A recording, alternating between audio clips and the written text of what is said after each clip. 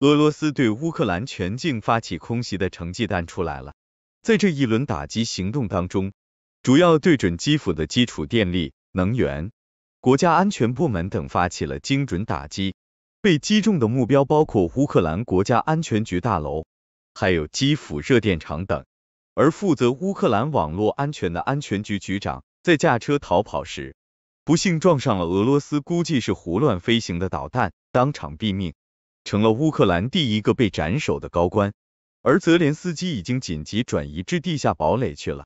那些为克里米亚大桥被炸拍手称好的乌克兰高官们，如今都心惊肉跳。气急败坏的怒骂俄罗斯残忍无道。我们看到，当时网上还有一些亲乌粉嘲笑俄罗斯说：“你看俄罗斯导弹打的不准，都打到路边的汽车了。”这下大家知道打到汽车上为什么打到汽车了吧？要知道，俄罗斯早就具备了导弹斩首的能力了。当年斩首车臣叛军头目就是这么干的。如今在北约和美国为乌克兰提供了。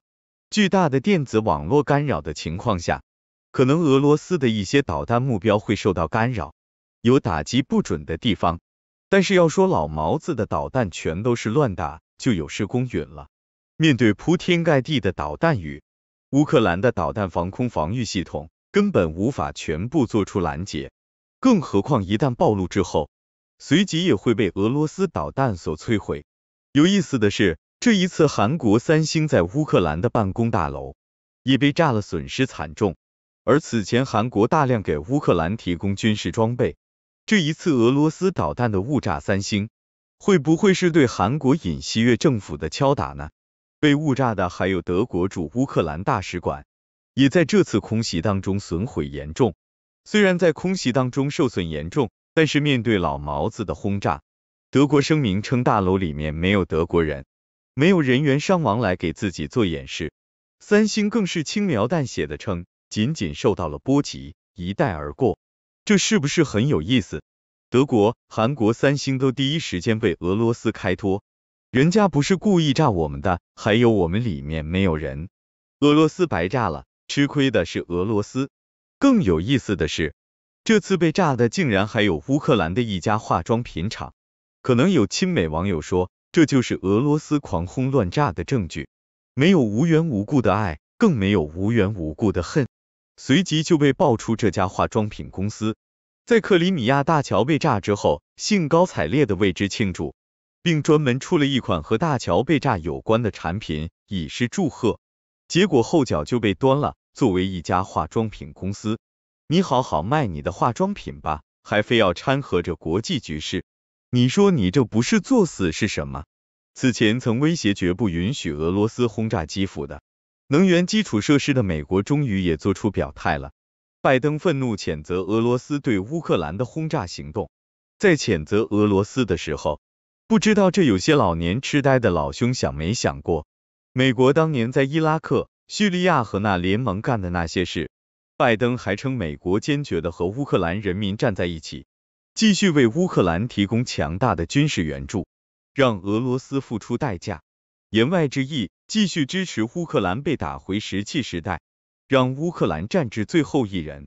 而德国也表示将会援助一套防空系统和坦克，并将会在近日内交付。但是俄罗斯都公开宣战了，北约国家当中竟然没有一个国家站出来，公开向乌克兰派兵，和乌克兰并肩作战。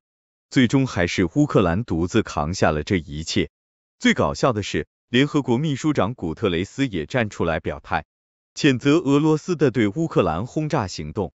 还有，以色列竟然也跟着谴责俄罗斯的轰炸行为。话说，这俩人是不是出来搞笑的？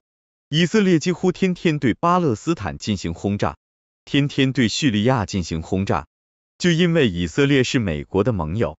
联合国和西方国家一直视而不见，睁一只眼闭一只眼。如今身份一换成了俄罗斯了，他们就集体跳出来了，也不知道他们怎么张得出口了。由此可见，如今的联合国在美国的把持之下，已经彻底没有公义可言了。需要说明的是，俄罗斯对乌克兰十二个主要城市发生了上百枚导弹，仅仅是对乌克兰的战略目标发动袭击。哪怕是乌克兰自己也称，俄罗斯的袭击造成了十四人死亡，九十六人受伤。大家想想，巡航导弹这么大的威力，要是往人群密集处发射，或者像美国打伊拉克那样无差别轰炸，伤亡可能就不是这个数了。这也证明了一点，俄罗斯这次对乌克兰仅仅是警告性空袭，而不是致命一击。只不过俄罗斯的善意会不会继续被乌克兰和西方国家认为？是俄罗斯只不过如此，反而更加变本加厉呢？克里米亚大桥剧烈爆炸两天之后，基辅遭到俄军时隔数月的首次严重导弹袭击。国际舆论本来还在等待和猜测，在今天晚些时候的俄联邦国家安全会议上，普京会否宣布将对乌采取哪些强硬回击？不料一大清早，乌克兰多地同时传来的爆炸声，立即就让人们意识到。莫斯科的报复行动已经开始了，泽连斯基以及其他乌方高官密集发声，表示谴责。北约、欧盟和欧洲多国领导人也都第一时间表态支持乌克兰。可想而知，俄方针锋相对的表达了强硬和警告。在俄联邦国家安全会议上，普京亲口证实，俄军今天用远程精确武器对乌克兰进行了大规模打击。他还明确表示。乌克兰的任何进一步袭击都将遭到俄方坚决回击。梅德韦杰夫也在社交媒体发文暗示，对乌还将进行更多打击。第一集结束了，之后还会有其他的。一，莫斯科的报复开始了。基辅今天清晨爆炸声一响，路透等媒体立即嗅出冲突可能骤然升级的味道，纷纷腾出网站首页置顶位置，开始对进展进行实时更新。一开始情况不甚明朗，焦点还主要是乌克兰首都。BBC 说，这是基辅数月以来首次遭到袭击。媒体最初的报道是基辅发生多次爆炸，占据市中心大片区域的舍普琴科区，多处建筑冒起浓烟。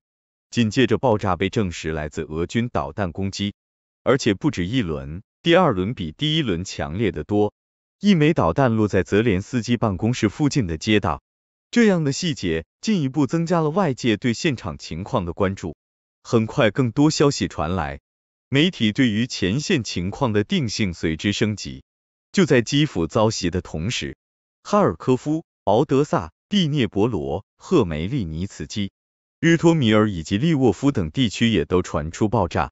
当地包括能源、电力在内的一些重要基础设施遭到俄军导弹袭击。这可能是二月以来乌克兰大部分地区遭到的最严重导弹和火箭弹轰炸。获悉遭袭规模和具体情况后，泽连斯基随即在社交媒体上多次发声予以回应，指责俄罗斯正在试图摧毁我们，把我们从地球上抹去，并称乌克兰正在与恐怖分子打交道。在俄军一轮又一轮导弹袭击中，泽连斯基还与法德等国领导人紧急沟通。探讨加强乌克兰的空中防御，欧洲和国际社会需要进一步加大对俄施压等。乌方多名高官当天也就多的遭到攻击，密集发生。首都基辅长达六个小时的防空警报还没结束，随后在行动进行过程中保持沉默的俄罗斯作出回应。俄国防部发言人科纳申科夫通报，俄军当天使用高精度武器对乌克兰的能源、通讯。以及军事管理等设施实施打击，本次打击目标已经达成，所有目标都被击中。另据俄媒报道，俄总统新闻秘书佩斯科夫说，基辅遭袭是俄罗斯特别军事行动的一部分。今天，普京在俄联邦国家安全会议上发表讲话，证实俄罗斯军队今天用远程精确武器对乌克兰的军事设施、能源和通信目标进行了大规模打击。